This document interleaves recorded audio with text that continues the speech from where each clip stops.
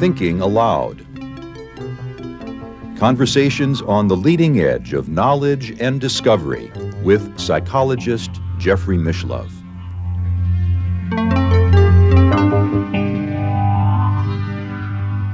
Hello and welcome. I'm Emmy Vadnais, co-host with Jeffrey Mishlove. Today, we'll be talking about empowering yourself with the subconscious mind. My guest is Friedemann Schaub, who is a physician, molecular biologist, researcher, and personal development coach. He is author of The Fear and Anxiety Solution, a breakthrough process for healing and empowerment with your subconscious mind, and The Empowerment Solution, six keys to unlocking your full potential with the subconscious mind. Friedemann is located in southern France. Now I'll switch over to the internet video. Welcome, Friedemann. It's a pleasure to have you with us on New Thinking Allowed today. Well, thank you so much. I'm excited to be here. You are a physician and a molecular biologist. How did you begin helping people with their subconscious mind? Uh, the short answer is that I was tired of allopathic medicine and I had to definitely look deep inside and realize I have a different purpose than either, you know, just writing prescriptions or doing some uh, experiments on cells or unfortunately also rats. And so there was a moment inside of me that felt like I gained a lot of knowledge. I certainly now understand the body so much better. But there is something missing in the whole picture. And what was missing for me was how can we have trillions of cells doing all their job, all kind of, you know, harmoniously living together, knowing their place, even committing suicide because they have to make room for other cells, which was kind of what I really focusing my research on this phenomenon called apoptosis. How is this all working so beautifully on its own? There must be some consciousness. There must be some wisdom. There must be something inside of us that is like the overarching, overgoverning, uh, mind that really keeps that all together. Um, and since it's not our intellect, I mean, we cannot even intellectually raise our arms. we have to really let something else do that. We can have a command, but then all the fine details are done by another aspect of our mind. And this is how I got interested in the subconscious. And this is how this journey began. You yourself experienced anxiety and symptoms of uh, perhaps trauma. I believe you described having OCD in your book. Is that did that also bring you into this interest in researching and understanding this more?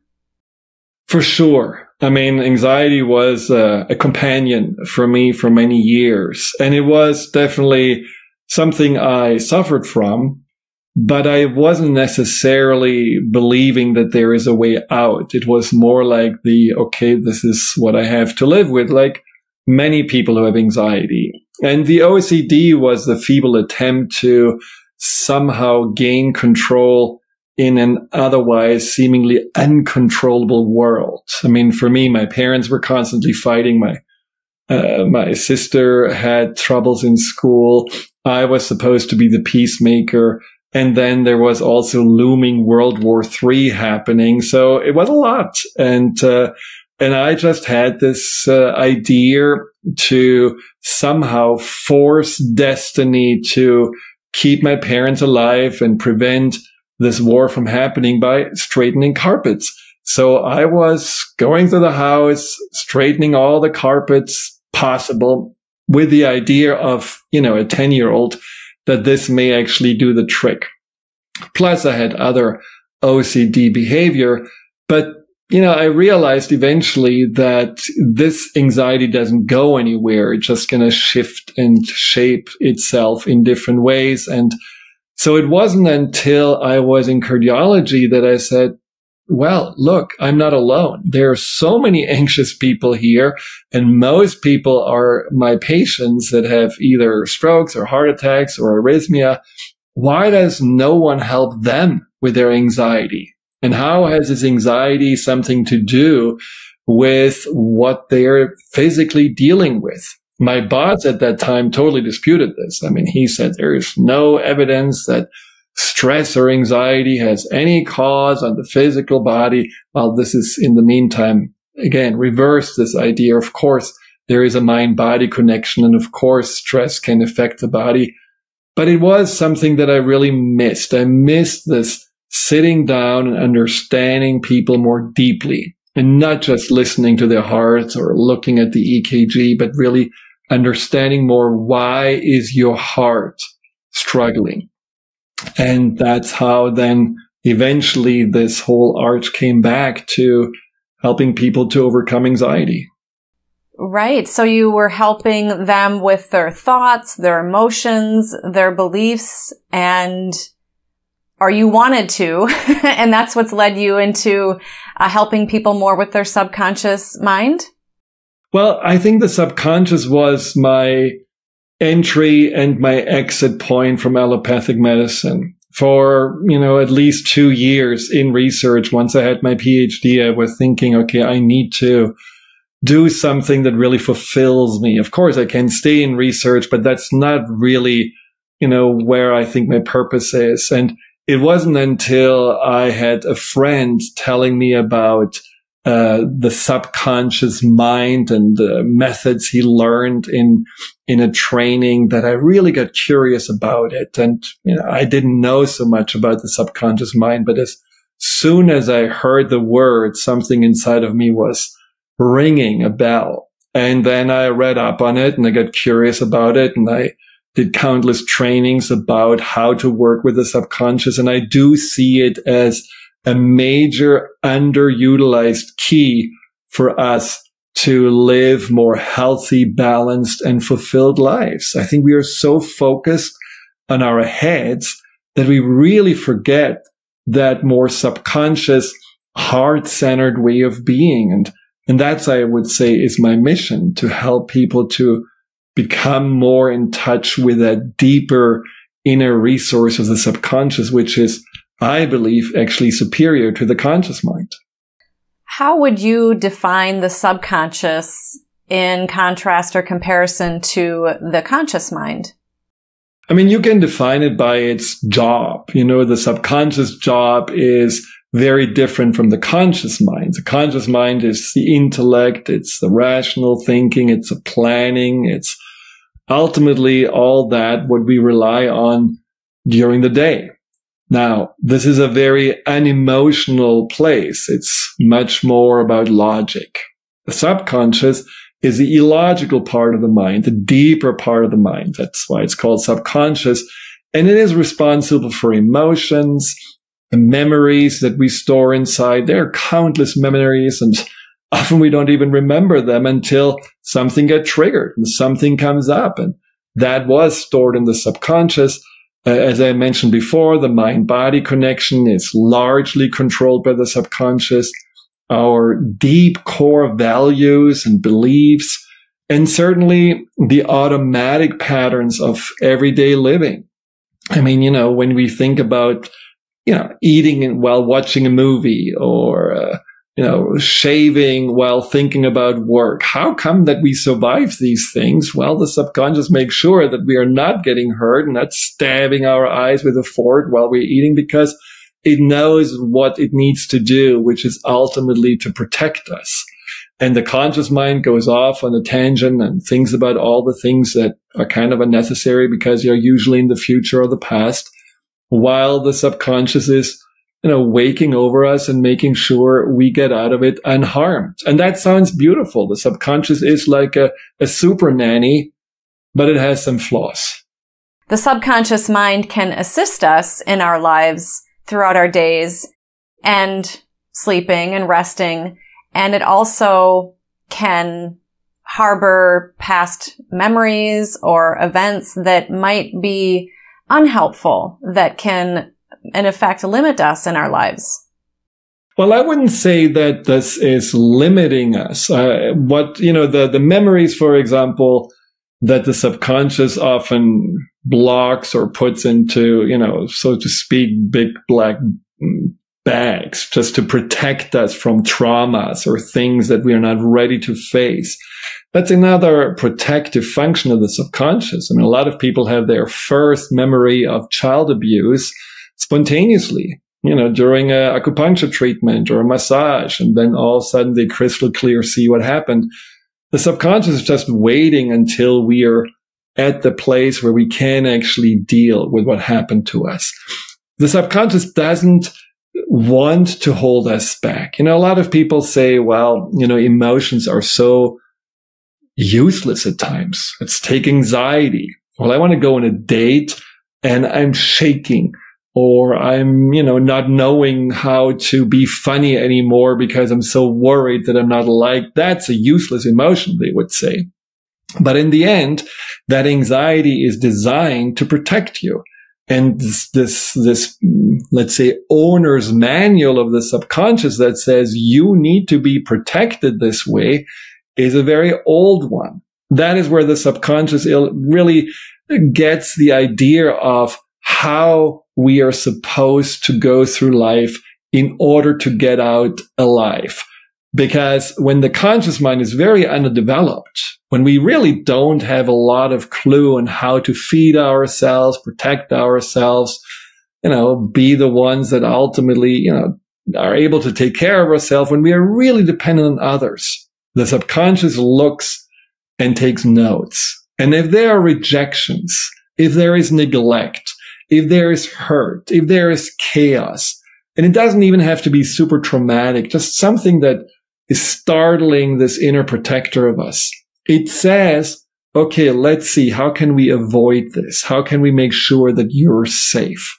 And one way to be safe is anxiety anything that potentially can cause further harm, the subconscious notices and says, alert, alert, alert. And of course, when we are still operating from the mindset of a child, we are feeling like children when the anxiety gets triggered, which is why when someone criticizes us and we still run these old ideas of criticism needs to be uh, avoided, we shrink.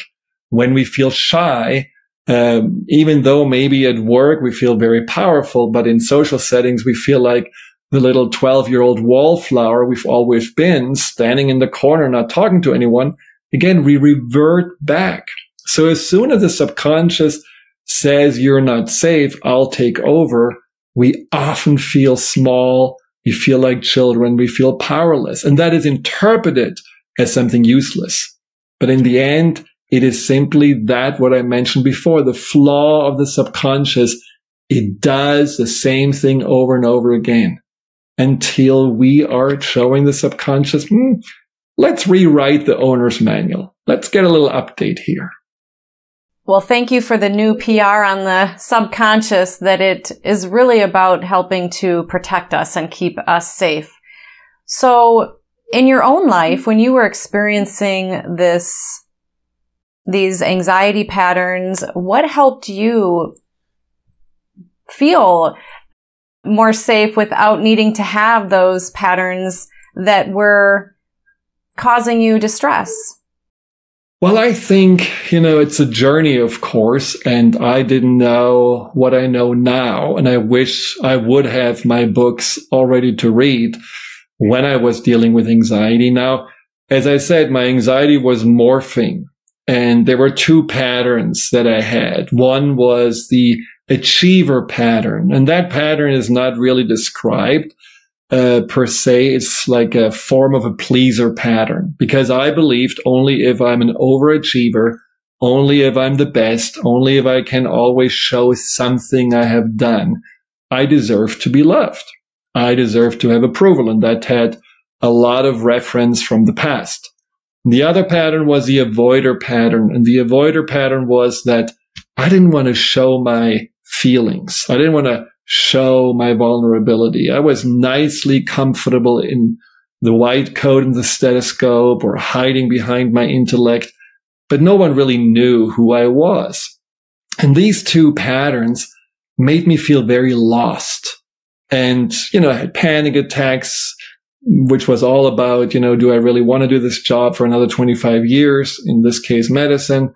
But I also had this feeling of complete emptiness, this feeling of who am I? I don't even know who I am. I don't even know how it is to feel comfortable in your own skin. And, and for me, the journey began through finding yoga. It was really through Kundalini yoga of all things, because that was the only yoga I had time for to go. And something happened when I closed my eyes during these whole, you know, the, the kriyas, the, the motions. And uh, there was an introspection that I didn't really allow myself to have before. And, and through the yoga and through the meditation, I realized I need to identify myself through me and not through my accomplishments or not through what other people think of me or what they reflect back on me. I have to find out who I am. And that took a long time. So the beauty about this book is that it gives you a shortcut how to get there much faster because it's a very specific step by step process. But it is ultimately, no matter what you do, the journey to yourself that the anxiety is inviting you to take on. So this is why, and I just want to quickly say this. I roll my eyes and it's not out of, you know, lack of compassion. When I hear you know, people that want to be helpful with anxiety saying, Oh, you're a poor thing and it's so hard. And I know. And it's just like you have to just keep going. And, and that's such a demonizing of the anxiety. And I feel anxiety has much bigger purpose than that. It is not here to torture us or make our life bad. It's, it's usually not any kind of illness. It is something that we just have to learn to understand. And without the anxiety that I was struggling with, you and I wouldn't talk. I wouldn't be on this path. I would be in Germany in cardiology, helping people with heart attacks and probably having my own because I was not really living what I was supposed to live. So the anxiety woke me up and sent me on the search to myself. And if we can see the anxiety as such, we can actually embrace it more and not just run it, run away from it or fight it. Yeah. Anxiety can serve a purpose and let a person know that there's something that wants attention or that maybe isn't uh, right in their lives. Absolutely. And I think that's a really important thing that we really see the anxiety not just something about, oh, what's going outside of us wrong, what's happening there, but really saying, what is it what I am doing to myself that creates the anxiety? And this is where, you know, these survival patterns come in. So my avoider survival pattern, for example, made me more anxious. It was designed to say, well, don't show what you feel because when you show what you feel, people criticize you for it or people make you feel bad for it and, or will take advantage for it. So have this nice little, you know, empowered demeanor and just keep it all for yourself. But what I noticed is just that I became more and more worried, more and more afraid of this kind of rejection or criticism because my safety was not in my own hands. It was dependent on how people see me. Same thing with the pleaser pattern. If you are a pleaser and if you are an achiever, you know you can do whatever you want. You can be, you know, super successful or Mother Teresa. The good feeling only lasts as long as someone says, great. Wow. I admire you. This is amazing. And as soon as you leave the room, the good feeling is gone. It's like heating a house with a match one after another and nothing really keeps longer inside of you that, that gives you a sense of, yeah, I am a good person or yes, this is really my identity to, you know, to give and make a difference. So what I'm saying is that when we are in these survival patterns, even though they are well meant, the dependency on others, either to please them or to avoid them, creates actually more anxiety than it is eventually healing the anxiety. And that's why we have to turn this around. For you, growing up, you describe in your book how you were a peacemaker in the family because of your environment. And I think so many people grow up in homes where there is lack of attention. I mean, some people do grow up in very loving homes. I think that that may be more the exception than the rule. And what did you discover within yourself around your upbringing that helped you to heal more from experiencing this distress and to be able to come to know your own authentic self more?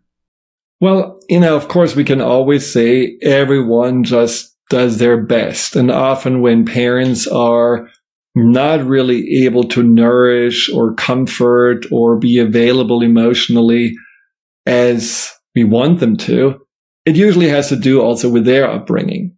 And, and I think forgiveness and realizing, okay, let's look into their childhood and see that, you know, my father was in World War II when he was just 17 years old and my mother had to flee when she was just 12 years old because of World War II. So they had really tough, tough childhood. And, and I saw that they also never really had received enough nourishment and enough comfort. So it's difficult to give something that you actually don't know what it looks like and that you haven't really experienced yourself. And that helped me a lot. But I also realized that there is something about knowing that you're missing something and then taking responsibility for it rather than hoping that somebody else going to do it for you. That's incredibly empowering. You know, one of the, the patterns I describe in the book is the lover pattern. And the lover pattern is classic for people that haven't received enough love. It's often when there, you know, was a divorce and one parent just cut the family off and disappeared or when there was a constant rejection of a parent and and you always wondered, am I lovable? Am I really good enough? Is there something wrong with you? uh, with me. And then you go out there and you look for a romantic partner and you hope that this partner going to fill this void or heal this wound. And it never really works out great because you're so codependent and you're so suspicious. Either the partner is really nice and you wonder what's wrong with this person because I deserve only to be treated badly, or the partner treats you exactly as badly as you were treated as a child. So you're re-traumatizing yourself. So it doesn't really work out well. And so realizing that the first goal is to take responsibility for whatever was missing and for whatever was broken inside of us. I find that maybe the harder path, but a much more gratifying, fulfilling one, and certainly a more empowering one. You describe six survival patterns in your book, and the first one is the victim. And that's what you just mentioned is being able to reclaim your own power with that self responsibility. Certainly we can blame our parents or blame our partners or teachers, ultimately, and certainly people have had, you know, horrific things happen to them for sure. And at the same time, you're suggesting that how our worldview is, we can work with that through the subconscious mind to heal our memories and beliefs associated with being, for example, a victim, which is the first type you have here? Well, the victim is certainly something that I think is very misunderstood because I mean, what I really see in my clientele is that the ones that had the most horrific childhood where you just, you know, almost cannot stand listening to what happened to them. That they are often the ones that are taking the most responsibility.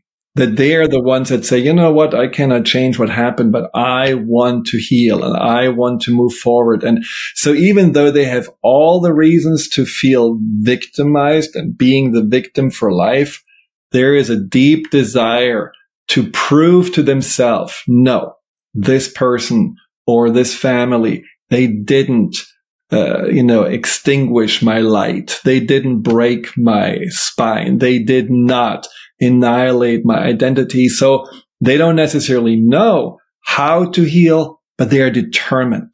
And I think the people that often are not really having the same experience, they are almost more comfortable in being in the victim role because it kind of sets you free. You know, when you're really living in victimhood, you can say, well, you know, I'm a survivor and that's enough. And I don't have to necessarily improve because look at everything that happened to me. And that is a pattern that is hard sometimes for us to, to see in ourselves, but it's really important to address. You know, this is where we are keeping people at arm's length because we're saying, Oh, the past repeats itself and I'm going to get hurt again. So why should I? Or it's where we are always finding perpetrators. So we are in this poor me mode. And then at some point, friends and family say, you know, but what about looking for a therapist or a coach? And then you get angry at these people because how dare them, you know, not really take your pain serious. I mean, we all had these moments where we felt so sorry for ourselves that we didn't really want to get out of it for many reasons. And one reason may be that not having to change feels safer than daring to change and daring to take responsibility. But ultimately it's where we get stuck. And I feel that getting stuck in a comfort zone is the worst that we can do for ourselves. You know, this, this being in a place where we feel safe and everything is predictable and nothing can happen to us. But at the end, we will have to face one thing that's worse than anything we were afraid of, which is regret. Regret that we never lived a better and bigger life. I hear what you're saying. And there are times where people have so much pain that they even attempt to take their own lives. And sometimes they are successful in that endeavor. Absolutely. And I really feel like, you know, this is not to be said that you never should feel that pain and honor that you were a victim and that you are feeling helpless and that you're feeling powerless. I think that's really important. I think it's, it's actually dangerous when we are kind of skipping across what happened to us and just saying, Oh, it's in the past. I don't want to think about it. And and then it actually haunts us subconsciously. But I also feel like that we haven't really been taught what it means to take responsibility. And taking responsibility doesn't mean that we are taking blame or that we are saying, well, somehow it must be my fault. Taking responsibility is simply asking exactly the questions that these clients I just told you about are asking. What is it in me that is now the resource that I know this person or this, you know, situation that I was in did not destroy, did not get to? How can I see myself actually as a one who is growing beyond what happened to me to show myself that I'm not defined by what happened, but that I'm defining myself through how I respond to it. And that is where we just sometimes need help to learn from the past, to find ourselves again, to also cast away the shadow that was unfortunately put upon us. I mean, one of the big, you know, uh, ideas about taking responsibilities to see that everyone in our lives, no matter how good or bad they were, ultimately are teachers for us. And uh, at the same time, we are teachers for them. We can always learn and from the people that treated us the worst, we can learn often the most. And when I think back at when I felt victimized, especially in my childhood, when I felt like, well, I was supposed to be the mediator, the peacemaker.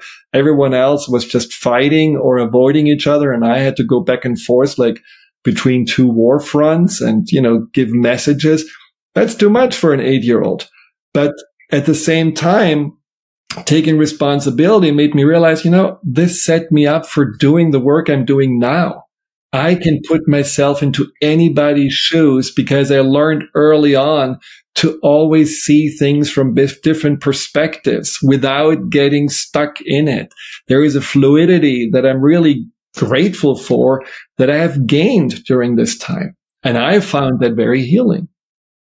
Your name, Friedemann, actually means man of peace. That's right. Yes. And that was by design. I would have been a Friederike as a girl, but uh, Man of Peace was even better because I was designed as a second child to save the family. So it was the idea. Let's make him the peacemaker. And, you know, it worked.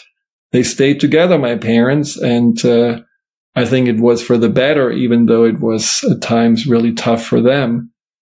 But I think, you know, we have to sometimes see also that, well, on some level, we have chosen to come together. I do believe there is a soul choice. And I think these were the perfect parents for me. I was the perfect uh, peacemaker for them. And, and that gives me personally peace to see it this way. It doesn't necessarily mean that your parents are off the hook completely for how you were raised. Well, I forgave them by simply realizing also that holding on to, you know, whatever they did or didn't do is not really serving me. And the worst thing we can do, my parents now have passed, but the worst thing we can do is to hold ourselves back from growing beyond what we experience because we want the ones that did something wrong to apologize or make up for it. Or we want to at least prove to them, see, I'm so messed up because you did this to me. And that's subconscious again. That's a part of the victim pattern, but it's a very dangerous one because it again puts the power into other people's hands rather than claiming it yourself. You describe six survival patterns in your book, and we've been discussing the first one that you describe the victim, then there is the invisible pattern, the procrastinator, the chameleon, the helper, and the lover. And these seem to be archetypal patterns. And you shared that these are patterns that you discovered over and over when working with your clients. Yeah. You know, it's, it's one of those things. It's actually originally there were 12 patterns that just came to me as clear as day when I was on a hike. And it was just, you know, sometimes these things happen. You just know, okay, this is what actually makes people still stumble after all the times that they have been struggling and then healing their anxiety and their insecurity. Why does it come back? Why are people sometimes recreating that what they have just resolved? And, and the patterns became just clear as that what we are overlooking. It's like, you know, let's say you, you would have a car accident and you would heal from the car accident and you would really feel, okay, now the wounds are closed. I can walk again. All is good. You go back in the car and you have another accident. Well, what happened? Well, what happened is that you're a miserable driver. You never really learned how to drive this car in a safe way. And so you repeat the accident. And that's what we sometimes do too. You know, the, the symptom of the pain of anxiety is just that. It's a symptom. It's a message. But how we create it is not only the past. It's also how we repeat the patterns from the past in the present time. And that's those patterns that really ultimately make us still identify with a limited version of ourselves and not with the empowered leader of our lives. And and those 12 patterns, I condensed them down to six because it was just too much for a book. So there will be a second book about the other six patterns at some point.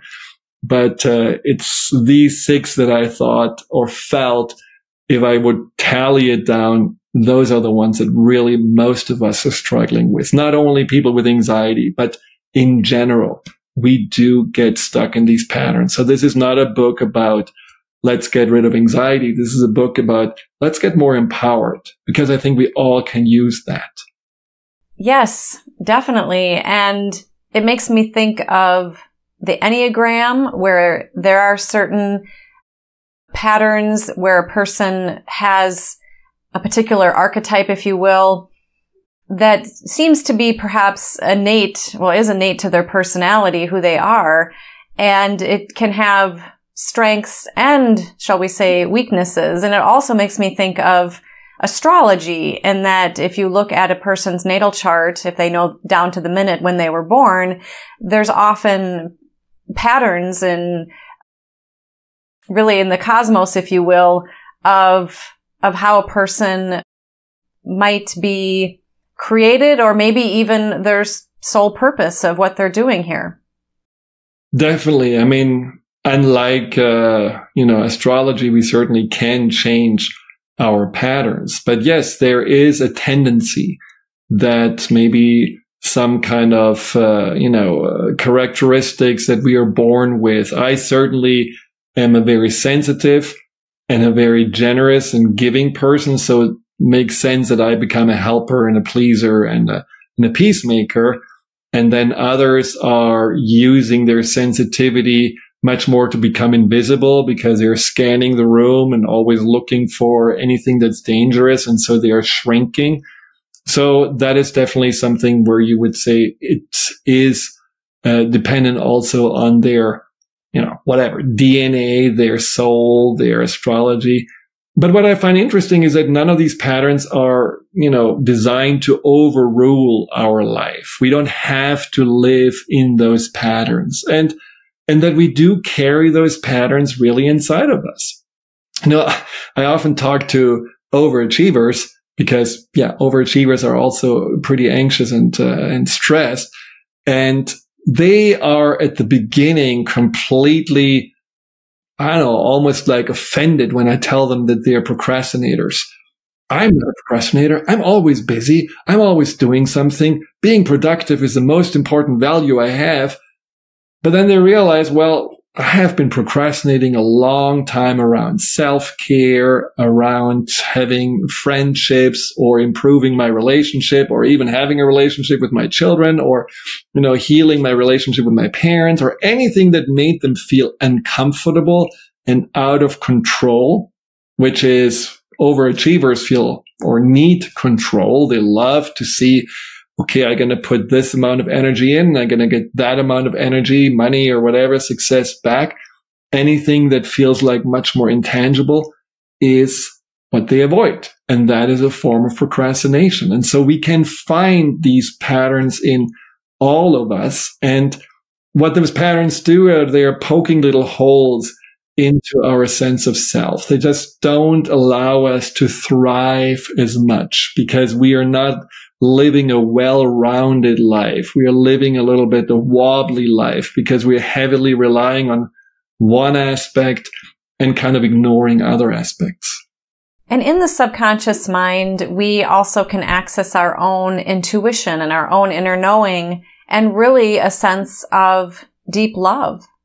Yes. And that is where I think, you know, my journey through yoga and meditation made me realize that there is actually a huge source of love inside of me that I always felt like was pretty much only there for others. But realizing that I can actually also claim this source of love for myself.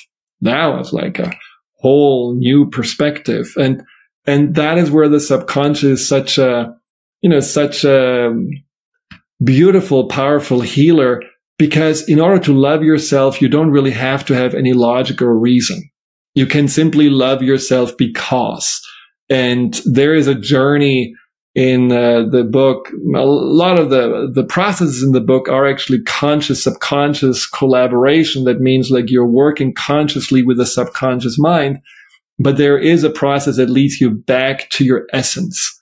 And back to your essence basically means like going back to who you are before you had any kind of uh, ideas, identities, programmings, personalities. You're just getting back in touch with your authentic truth. And that is such a powerful place to be because you can love, accept, appreciate, and believe in that truth because it's ultimately who you are without any need to be even to describe it or define it. There's just a, it's like you were floating around in space and all of a sudden you found gravity and it pulls you back inside and pulls you back to yourself. That is when my anxiety disappeared. That when I found this hold in myself, all changed and all my perspective on myself and the world changed. You describe a process in your book called disentanglement. Can you share a little summary about how that might help someone who's listening to us now? The disentanglement process is a process that is about the, the victim pattern, but it is actually something we can use all the time because we may find ourselves stuck. And what I noticed often is that we are in, you know, situations or relationships that disempower us. And even though we don't necessarily, you know, want to think about those people or give them power, subconsciously there is still almost like a, a differential in size. They are big and they have, you know, all the control and we feel small. And in the disentanglement process, you're turning it around. And, and I talked before about teacher and student paradigm and, and you really start a, you made the decision to say, okay, I'm going to let go of this relationship the way it used to be through forgiving, meaning like I'm giving back anything that doesn't serve me anymore. And B, I'm seeing this person or the situation as a real growth opportunity. And I'm asking my subconscious to help me to learn from it, to grow from it, also, I ask my subconscious to tell me what was I supposed to teach this person, no matter if this person was actually getting the lesson or not. And then through a process of compassion and releasing all those uh, beliefs and emotions that you have taken on or that you have harbored inside through letting go of the you owe me, the debt sheet that we often have against others. You are showing the subconscious that you're complete, that you're disentangled. And I did this process with my parents before they died, about 10, 15 years before they died. And it really, really changed my relationships because what changed for me is that I had no longer any expectations. I didn't need them to be different.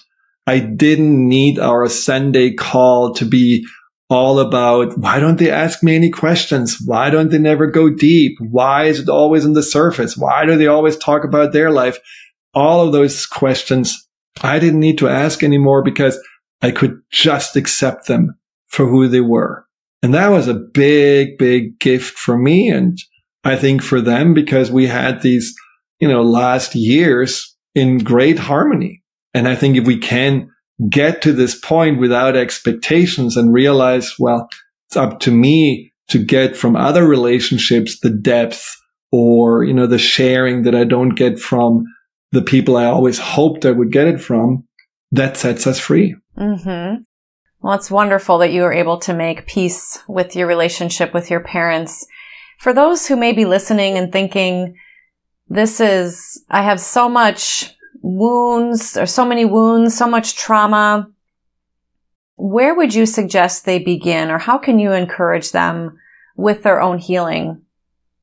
I really think we are doing ourselves a disfavor when we are defining ourselves with our trauma. Because I think that is like where people define themselves with anxiety. It's like, I am anxious. I have anxiety. And we're not looking left and right. We are not looking anywhere what actually is so much more about ourselves. It's a, you know, the physical analogy is when you have a broken toe and all you can really focus on is the pain in the toe, even though 95% or more of your body are totally fine. You don't feel it. You don't see it because you're pulled into that. So I think what we need to do is to step a little bit back and realize that the trauma is only an episode in our time and in our lives. And it did certainly cause a lot of confusion. It caused a lot of pain. It caused a lot of probably dismay and anxiety. But from a subconscious perspective, all those things are just pointing towards there is something unresolved. People that have trauma hold on to the trauma, not because the trauma is so fun to really cuddle and, and you know, get attached to. They hold on to the trauma because the subconscious says, you know, I have a lot of questions about this. And I have to resolve those questions. It's this confusion that I just mentioned that we have to resolve. Why did this happen to me? Why did this person do this? What does it say about the rest of me and the rest of my life? And, and in a, you know, deeper process, you can answer those questions and you can find resolution and you can realize that the pain can release because you are literally finding these answers and you're finding a place where all this makes sense in your life. It's not desirable. It's not what you would have necessarily consciously chosen, but you can find acceptance. And from there, you can find a way forward. So don't just look at the pain, see the pain also as the confusion that needs to be addressed and resolved, and you will get answers. Because a person can have beliefs about themselves based on emotions they experienced from that trauma and, and you help people and why we're having this conversation is to help people recognize that they can replace those beliefs with new ones. Yes. And beliefs are really what ultimately, you know, shapes how we see ourselves in the world. It's not just the emotions. It's really the belief that have been, the beliefs that have been created because of the emotions. So for example, when someone was traumatized, you know, let's say it didn't only happen once, it happened several or multiple times. There is a belief that may say that you're not safe in the world or that no one can be trusted or that the shoe gonna drop again or that there is something wrong with you, that you're not supposed to be here, that you don't belong here. And that is a huge subconscious filter. That means you will not see the world for all its possibilities. You will not see yourself for your truth. All you see is through the filters of that belief. And so as soon as someone raises an eyebrow at you, you feel attacked. As soon as you feel like, you know, there is just anything unpredictable, you get into a panic because your belief you're not safe is much stronger than it needs to be. And so the goal is for you to update your belief system. And that's what I mean with rewriting the owner's manual and to realize these beliefs make sense because this is what happened to me in the past. But I'm not that person anymore. I'm older. I have certainly learned a lot. I have grown a lot. I have a lot of resources. I have a lot of support. The world that I lived in was predominantly maybe benevolent or actually supportive. But what I'm holding on to are these traumatizing events that shaped this belief system. So I have to put this all back into a new perspective and really decide what serves me more to hold on to the, you know, self-protective traumatized belief system or to choose a belief system that gives me a chance to live with greater joy and purpose. Friedemann, is there anything else you want to share today about empowering yourself with the subconscious mind? Well, I think it's a, a, beautiful journey to have to get to know that there is an inner ally inside of us that we don't actually know so well. Most people don't really have a close relationship with their subconscious. They know it exists. They sometimes don't like it or they blame it for nightmares or some bad behaviors, but they don't really know what the subconscious really can do for them and the wisdom that the subconscious has. So just being curious and stopping to distract ourselves from the, you know, all these outside noises and everything that just leads us in all different kinds of directions and leaves us more and more confused to turn inwards and really just learn to know the story that the subconscious can tell you about your past, about your truth, about the dreams and desires that you have forgotten, but that were there. That's how you you know, really were born and certainly also the information about your greater purpose. Once we connect to our truth and our subconscious and we are in alignment, we don't get distracted anymore. We don't get, you know, swayed by some loud, fear mongering, disturbing, you know, voices on the outside. We know who we are. We know what we believe in. And I think we can be of greater service to each other. This is not a journey just for self fulfillment. This is a journey also for the earth, for the planet. If we are not learning to understand each other, love and appreciate each other, I think we are in trouble. And so the journey starts here within our hearts. And that is where I think the hope for a better future can be individually and also globally. What a beautiful vision. And thank you so much for helping us all to make our subconscious more conscious and have more harmony and peace within and with all of us in the world. Thank you so much for being with me today, Friedemann. Well, thank you so much for giving me the opportunity to talk about something I'm so passionate about. And for those of you listening or watching, thank you for being with us. You are the reason that we are here.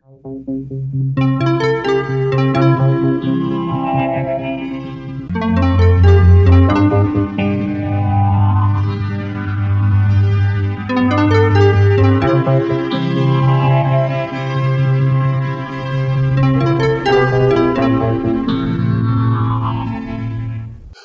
imagine that by now many of you already realize that in conjunction with White Crow Books, we've just launched the new Thinking Allowed Dialogues book imprint, and our first title is Is There Life After Death?